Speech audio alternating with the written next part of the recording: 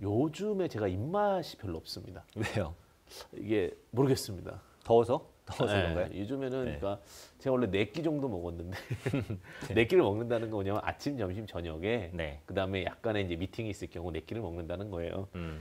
근데 요즘에 이제 먹는 양이 줄어든 게 아무래도 어쨌든 간좀 많이 복잡한 일들이 있어서 그런 게 아닌가라는 생각이 드는데 네, 뭐, 뭐 복잡한 일이 있어요? 아, 뭐 복잡한 일이라는 것은 항상 그 시장 고민 시장 고민. 그리고 또 우리 그 시청자님들을 어떻게 더 잘해드려야 될까에 대한 고민 네네. 예 이렇게 좀 무마하겠습니다. 알겠습니다. 네. 근데 그 어쨌든 요즘에 이렇게 보- 밥맛이 없는 시즌이라고 그러죠 봄이. 음. 근데 그 와중에 또 어떤 좀 별미를 소개해 주셨었나요? 네. 제가 이제 텔레칩스 가지고 왔었는데 뭐 흐름이 뭐 나쁘진 않았어요. 음, 한 2, 3% 정도 이제 상승 추세를 조금 보이다가 수요일 날 이제 폭락할 때 살짝 밀렸다가 다시 이제 추세를 회복하려는 그런 모습이기 때문에 현재 위치에서도 뭐 매력은 있다. 네. 이렇게 이제 보고 있고요.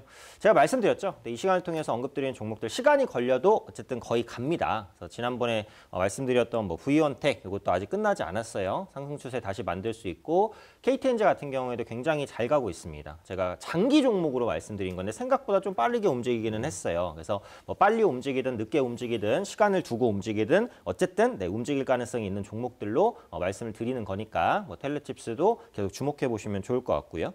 어, 지난주에 말씀을 드릴 때 그 스마트 홈 솔루션 그리고 차량용 AP 네, application processor라고 합니다. 그래서 공급 증가에 따른 수혜가 기대된다라는 부분이고 어, 저는 자율주행 시장 확장에 대한 믿음을 네, 아직 저버리지는 않았어요. 그래서.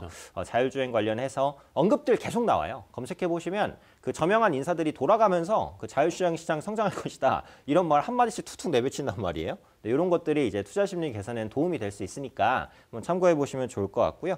어, 완만한 우상향 추세를 타고 있고 이제 박스권 상단 구간까지 거의 왔는데 이제 오기 전에 살짝 꺾여서 이제 상단까지는 아직 열려 있다라고 보고 있어요. 뭐 상단을 돌파하고 갈 수도 있지만 일단은 제가 제시해드린 목표가가 어, 2만 원 어, 선이었으니까 어, 그 정도 선까지 한번 노려 보시는 관점으로 어, 보면 되지 않을까 싶고, 근데 주식은 어쨌든 수학은 아니란 말이에요.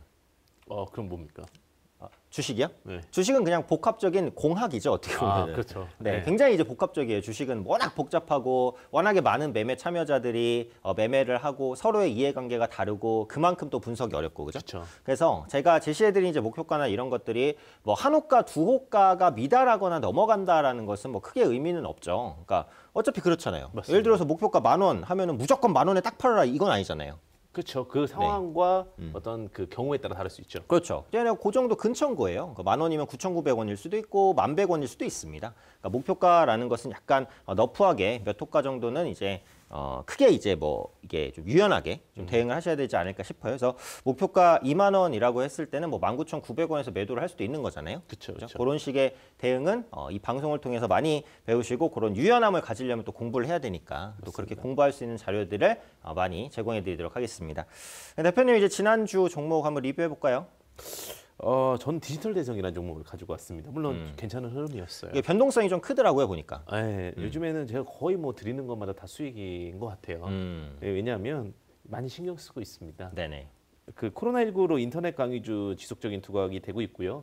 네, 요즘에 이쪽- 재확산 되고 있죠 코로나가. 네, 그렇죠. 지금 사실은 뭐 700명 뭐 음. 이렇게 나오고 있는데 사실 건강 많이 조심하시면 좋으실 것 같습니다. 네 건강해야 주식도 합니다. 네, 맞습니다. 그리고 작년도 영업이익 이제 100억 이상에 대한 이슈가 좀 있었고 그러다 보니까 단기적으로 좀 눌렸을 때 음. 이제 매, 매매 포지션으로 가니까 반등이 좀 나왔다라고 보시면 될 것 같고요.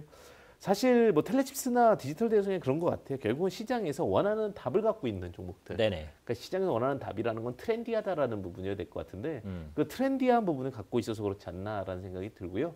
그렇기 때문에 뭐 텔레칩스나 뭐 디지털 대성 모두 다 뭐 나쁜 종목은 아니었다. 음. 그리고 제가 볼 때는 지금 약간 가벼운 종목들 보시는 전략도 나쁘진 않을 것 같아요. 왜냐면 공매도가 이제 5월 3일 날. 가볍다는 건 이제 좀 변동성이 큰 종목. 네, 그게 좋은 표현일 것 같습니다. 변동성의 큰 종목들을 보셔야 될 것 같고 5월 3일 날 또 공매도가 부활하기 때문에 지금은 좀 큰 종목들에 대해서는 리스크 관리가 좀 필요하지 않을까. 코스피 200과 코스닥 150은 좀 리스크 관리가 필요하다. 이 참고하시면 좋으실 것 같습니다.